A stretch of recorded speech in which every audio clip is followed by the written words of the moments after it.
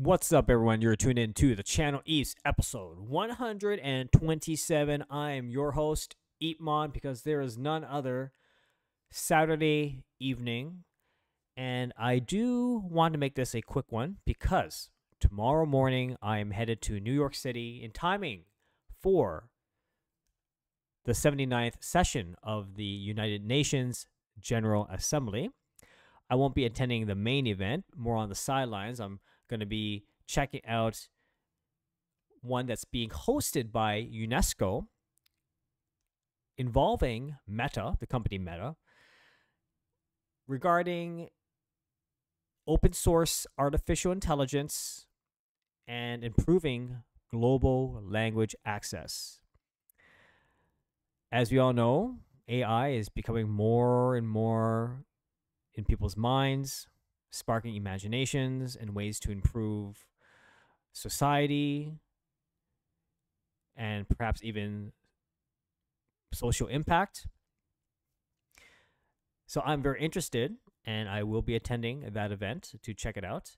It was really, you know, 2024 has been, I'm going to go a little sidetrack a bit, but 2024 has been quite a year because looking back at my trajectory, and I guess it also depends on my locale, my, my location, being based in Ottawa, Canada, which is the nation's capital, which is where the federal government is, where our national institutions are, and as an artist, where everyone pretty much left the city to go to bigger cities where the perceived opportunities lie, I stayed put.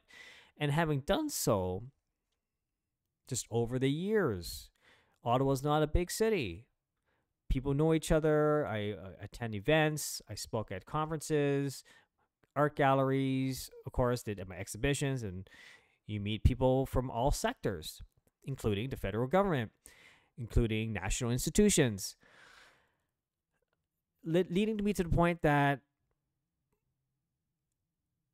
it seems that my creative endeavors are now crossing over more and more into policy related um, discourse or policy just policy related in general.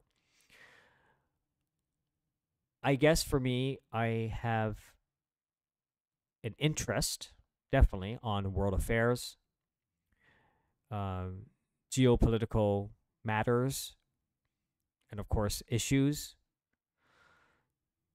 And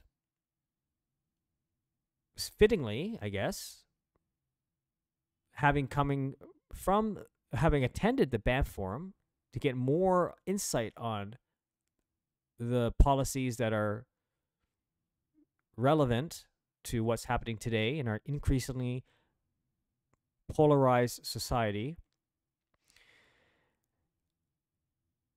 that art, culture, for me, is digital arts, I believe increasingly has a more important role or a pivotal role in providing new insights and innovation and and and discussions uh, through uh, you know cultural diplomacy. We really perhaps the some of the solution is to really bridge the gap through arts and culture soft power diplomacy, cultural diplomacy. So one thing led to another. I keep on saying so. I say so one more time. I'm gonna punch myself in the head. um, I find myself going to New York City to attend this event because I am very interested. It aligns with my world. I want to see what discussions will ensue and what kind of uh, individuals I will meet at this event. And that's that. We'll see where that goes. But it's sort of like this needle, like, you know, this needle where I am like, you know, usually more on the digital art side. And on the other side is really more like like like um governmental affairs, right? You know, I, I, I attended trade delegations, minister led trade delegations. Um, you know, I'm travel to Japan, I travel to China, and getting different perspectives, cultural perspectives, um, observing how even how uh, uh, policy and political individuals how they present themselves, how they speak, their their mannerism, all these things. It's it's quite fascinating. And this is part of the world of the of the the, the diplomatic package of be presentable and these sort of things. I I don't know. I just find it really interesting, fascinating, and um, perhaps perhaps you know I'm in my career as a digital artist and creative entrepreneur, I still continue to carve out new niches and new domain expansions. Who knows? Perhaps one day I can see myself in an increasing role where I'm involved with more policy related on the cultural side of things. That would be very interesting. I think I can do it, but it'll take time.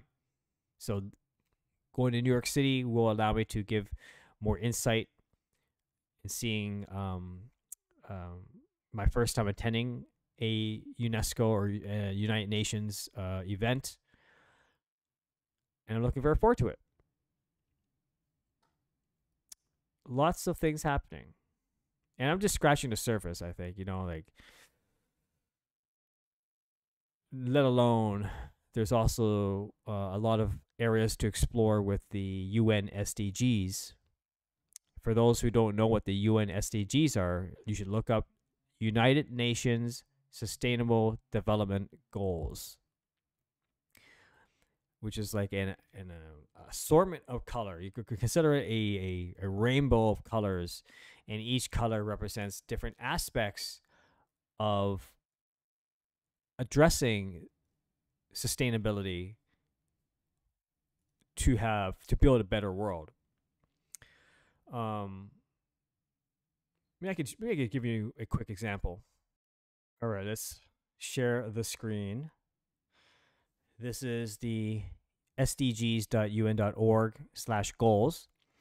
And there are, in fact, 17 goals, all designated a color. One represents poverty, two, zero hunger, three, good health and well being, four, quality education, five, gender equality, six, clean water and sanitation, seven, affordable and clean energy, eight, decent work and economic growth, nine, industry, innovation, and infrastructure, 10, reduce inequalities, 11, sustainable cities and communities, 12, responsible consumption and production, 13, climate action, 14, life below water, 15, life on land, 16, peace, justice, and strong institutions, and 17, partnerships for the goals. Um, so these are the SDGs, Sustainable Development Goals, by the United Nations.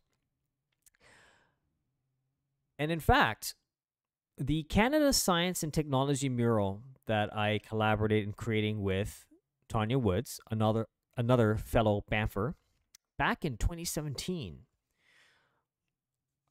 This mural does indeed address aspects of the SDG goals. Um, in fact, if you go to the mural, if you go to the Canada Science Technology now, you'll notice that under in, in the mural you'll see these triangles at the very top these large triangles and have different designated colors red yellow and for example yeah as an example. And in in fact it does uh, address aspects of these goals. So for example in our mural we have a red that's like no poverty. Uh, we have one about um, uh, I know we definitely have one for peace, justice, and institutions. We have another color that is about hunger. Um, again, two. Uh, we have I we do have one on life below water. Yes, in clean water and sanitation, but we have things that are representing life below water. We have a. I think we have a purple one. Do we have a? I think we have a purple one. Something similar to purple. Yeah, I think decent work and economic growth. I think that was the one that we we had in in the mural. So basically, we the mural that that I created looking at all the in- incredible archives of the Canada Science Technology Museum with Tanya Woods, we identified and through many focus groups identified specific pieces from the archives that are Canadian innovations. And we created this this mural that addresses each of the SDGs and where and and where each of those um, uh, archival those Canadian innovations inventions where they fall in that narrative. So I like to think that we were really a um, ahead of the time incorporating arts and culture into a policy such as the UN SDGs. So I think that's really, really um, forward thinking. And I feel, I have this inkling feeling that 2025, we are going to revisit all of this through more engagement with institutions that also share the same mandates. So, yeah. Even now, even now, in my almost 20 year career, oh my God, I continue to build myself. I continue to I continue to evolve. You know, people ask me, "Oh, when does it end?" It never ends, folks, because being a digital artist, being an artist is an it's a life. It's a way of life. It's a way of being. It's not like I suddenly turned on I became an artist. Oh, you know, it's and I guess in some ways people say that whether it's whether you you have it or not eh, or you don't have it or you, eh, whether you have it what it takes or not because I can't stop thinking about my world, my what I do, my creativity and what where I can go with it, right? I get I genuinely get excited. And it's my passion and of course I'm very grateful. So for those who are aspiring to be creatives, to be creative entrepreneurs, to be artists, I know that the route and the path that which we lead will not be easy because we have to carve these opportunities for our own. However, the journey is indeed adventurous and very exciting because you know that you are 100% accountable. And you just don't know where it will lead to. And now, as I just showed you, it seems, it appears that I am going in this direction or this route.